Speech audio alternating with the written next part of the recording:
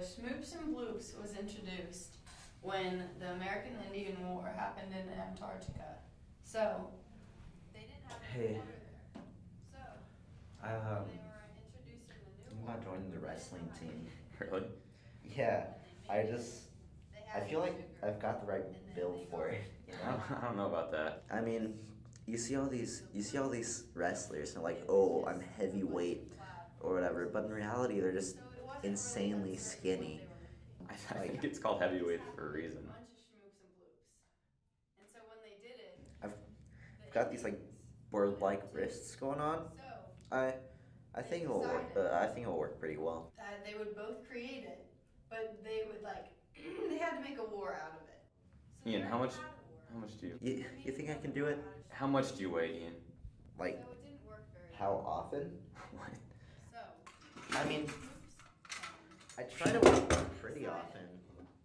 Uh, cause you know I'm since I'm gonna be wrestling, and I try to keep myself on a pretty strict diet, and I don't want to just We're gonna keep keep it adding away and from adding and adding. And like this unnecessary weight. How much do you weigh? I'm- I guess you're right. It's it, it's a balance and measures mass, "Oh, clay? What but you know to me mass and weight kind of go hand in hand with this. "Oh, You know. need Ian, So they started making clay. How much do you weigh? Oh, that the clay, I'm so sorry. I but I completely misunderstood. I completely It's misunderstood okay. you. Like, how much do I weigh? Okay, dude, come on. I actually only do about half a scoop of this. It's it's a, it's a bit too strong for Dude, me. it's you not know funny. the, It's not funny anymore. the flavor. It's it's, Dude. it's real chocolatey. Um, I'm not sure how much people usually use. I've only I've had this container for about six months.